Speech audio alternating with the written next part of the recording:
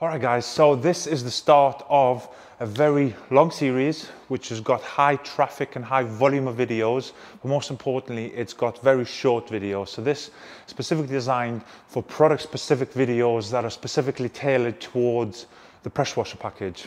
These videos are mainly made to go onto the website, but again, it is going to be on YouTube and this is for you to see. So further down the line, if you want to see what a very premium part looks like, again, a product specific part, you can have a look at the videos.